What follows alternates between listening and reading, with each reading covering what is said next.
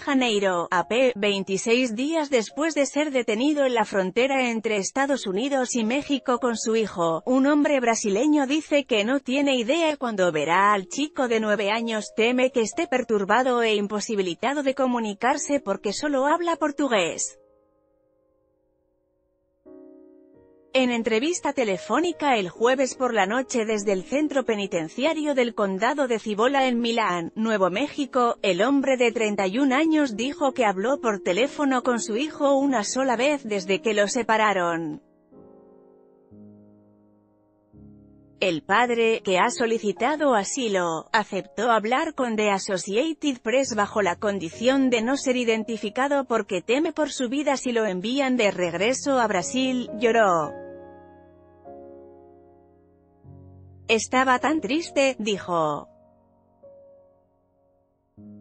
Le había prometido que serían apenas de tres a cinco días. El hombre, oriundo del estado central de Minas Gerais, dijo que lo habían despedido recientemente de la panadería donde trabajaba. Dijo que tenía una deuda de unos 8 mil dólares que no podía pagar y que una banda criminal lo perseguía para obligarlo a pagar. Se negó a entrar en detalles. Niños piden ante Senado de Estados Unidos acabar con separaciones de familias migrantes, MIA 17.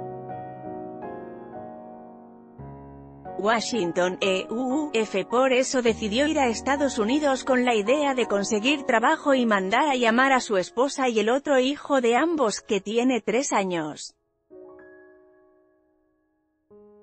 Con su hijo mayor voló a Ciudad de México y de allí llegaron a la frontera.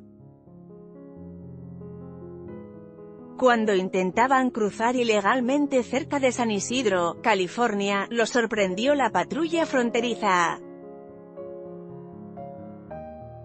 Los llevaron a un centro de detención con muchas otras familias, durante dos días, lo único que nos dieron de comer fueron doritos, barras de cereal y jugo, entonces le dijeron que se llevarían a su hijo a un lugar para menores y que estarían separados cinco días, como máximo, no quería asustarle.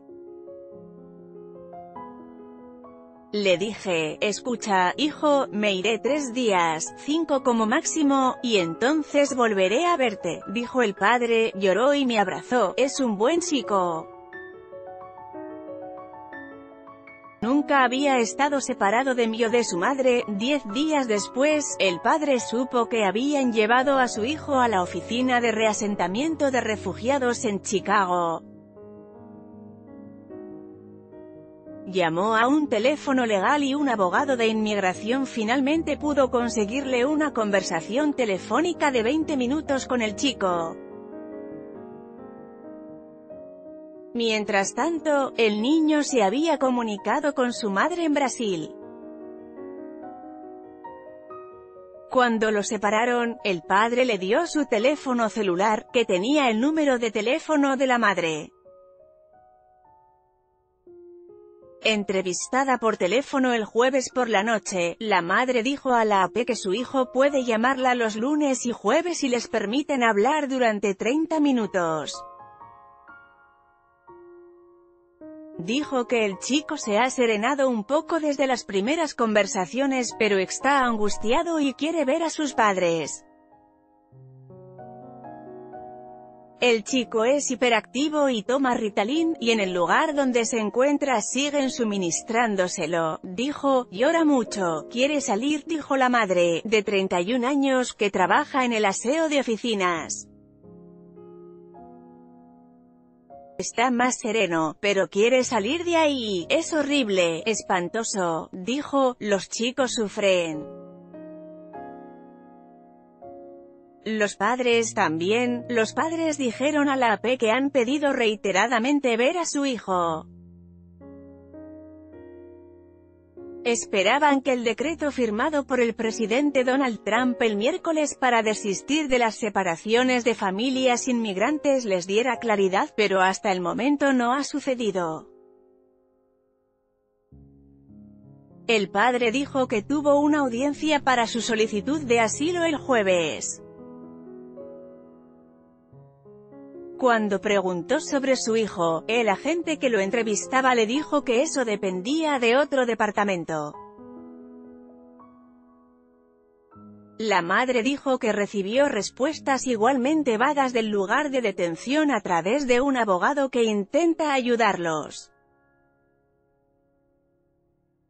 Aldea, el Centro de Justicia Popular, una firma legal sin fines de lucro que ayuda a inmigrantes, presentó demandas federales en nombre del chico de 9 años y de otro brasileño de 15 años, también separado de su padre.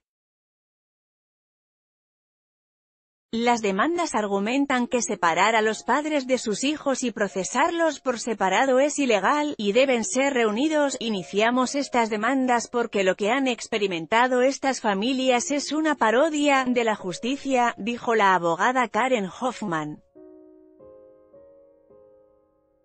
Nadie sabe cómo será la reunificación, el gobierno no lo sabe. Por cierto, en esta nota, reforma migratoria migrantes Donald Trump.